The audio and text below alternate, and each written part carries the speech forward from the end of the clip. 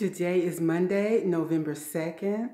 I just finished 30 minutes walking outside. The best thing that I did was try to remember the whole time to suck my stomach in as I had my waist trimmer on.